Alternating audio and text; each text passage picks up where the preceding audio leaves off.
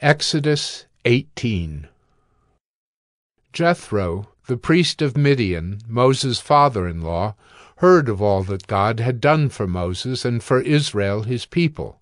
how the Lord had brought Israel out of Egypt.